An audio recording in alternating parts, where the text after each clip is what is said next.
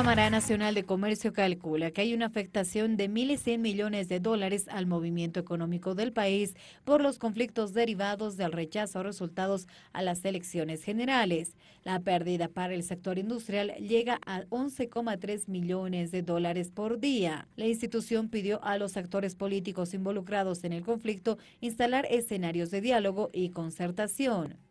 Además, las exportaciones reportan una pérdida de 12 millones diarios de dólares. Los sectores más afectados son el comercio, los servicios, el turismo y el transporte.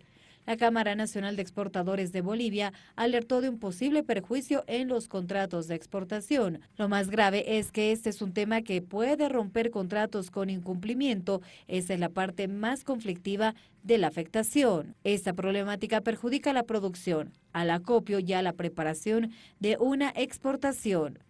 Los paros cívicos indefinidos en las ciudades capitales se iniciaron el pasado miércoles y por día se registran pérdidas solo para el sector industrial de 11,3 millones de dólares.